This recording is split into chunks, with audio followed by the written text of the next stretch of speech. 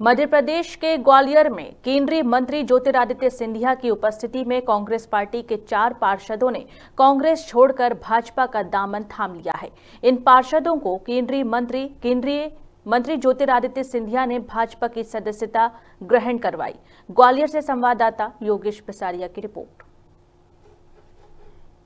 जिस कांग्रेस पार्टी और जिस कांग्रेस पार्टी के नेताओं की आप बात कर रहे हैं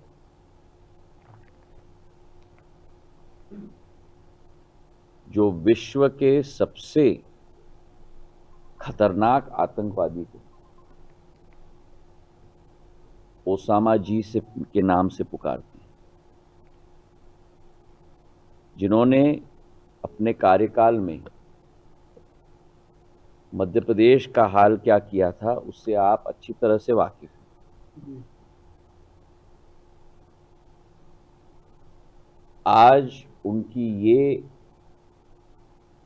वक्तव्य अगर ये इन्होंने दिया है, मुझे नहीं, मैंने पढ़ा नहीं है, आप कह रहे हैं कि ये कि देश की उन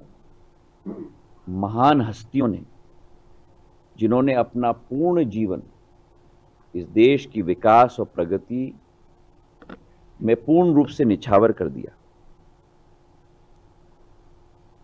उस भारत रत्न के पुरस्कार को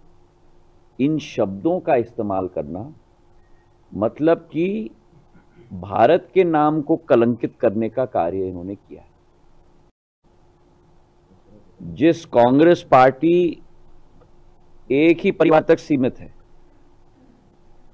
जो कांग्रेस पार्टी एक ही नाम तक सीमित है